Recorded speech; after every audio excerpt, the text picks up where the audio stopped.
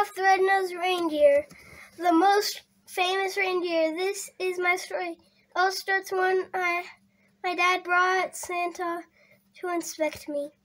A red-nosed reindeer? Ho, ho, ho! Your son is a failure. But Daddy, I don't want to hide my nose.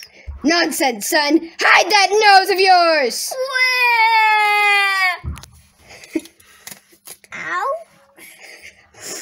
There, son. Don't you feel better? Now you're no longer a misfit. Maybe Santa will let you ride. Uh, what could go wrong?